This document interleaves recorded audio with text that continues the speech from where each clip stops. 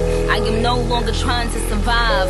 I believe that life is a prize, but to live doesn't mean you're alive. We are here tonight to celebrate this incredible event for WOTC. It's the NFAs, and this red carpet is about to get very exciting, so you need to stay tuned for what's about to go down.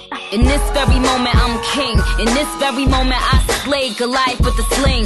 This very moment, I bring, put it on everything that I will retire with the ring, and I will retire with the crown. Yes, no, I'm not lucky, I'm blessed. Yes.